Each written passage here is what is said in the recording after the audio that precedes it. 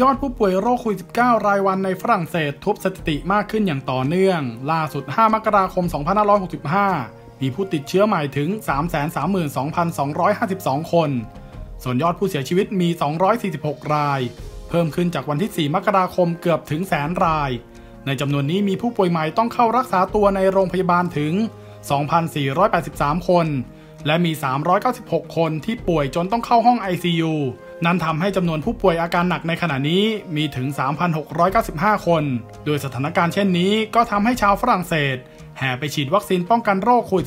-19 โดยโอริเวียเวรอง รัฐมนตรีว่าการกระทรวงสาธารณสุขเปิดเผยว่า เมื่อวันที่ 5 มกราคม มีผู้รับวัคซีนเข็มแรกมากกว่า 66,000 คน ซึ่งหากคงตัวเลขนี้ได้อีก 70-75 วันชาวฝรั่งเศสก็จะไม่ป่วยหนักจากโรคนี้ นอกจากนี้ เอมมานูเอล มาครอง ประธานาธิบดี ยังขู่จะใช้มาตรการกดดัน เพื่อให้ผู้ที่ไม่ได้ฉีดวัคซีน ใช้ชีวิตด้วยความยากลำบาก โดยเอมมานูเอลยอมรับว่า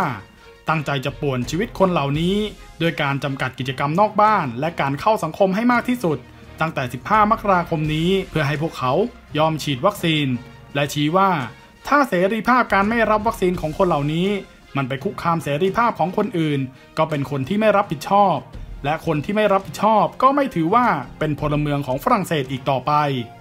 ทั้งนี้รัฐบาลมีแผนจะมอบบัตรผ่านวัคซีน ให้เฉพาะผู้ที่ฉีดวัคซีนครบโดสแล้วเท่านั้น จากเดิมที่ให้เฉพาะผู้ฉีดวัคซีน มีผลตรวจเป็นลบหรือเพิ่งหายป่วย ก่อนเข้าใช้บริการร้านอาหาร คาเฟ่และพื้นที่สาธารณะ ขณะที่คำพูดดังกล่าวก็ทำให้ฝ่ายตรงข้ามรุมถล่มอย่างหนัก โดยชี้ว่าเอมานูเอลไม่เคยคิดว่าตัวเองเป็นประธานาธิบดีของทุกคน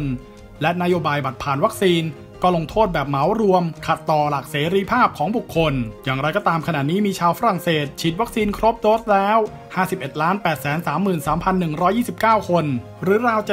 76.9%ของประชากรทั้งหมด ขณะที่มีประชาชนอีกราว 5 ล้านคน ยังไม่ได้ฉีดแม้แต่เข็มเดียว นอกจากนี้เมืองใหญ่ ๆ ในฝรั่งเศส ทั้งกรุงปารีสและลียงก็เริ่มกลับมาประกาศบังคับประชาชนให้สวมหน้ากากในที่สาธารณะ เพื่อป้องกันโรคอีกครั้ง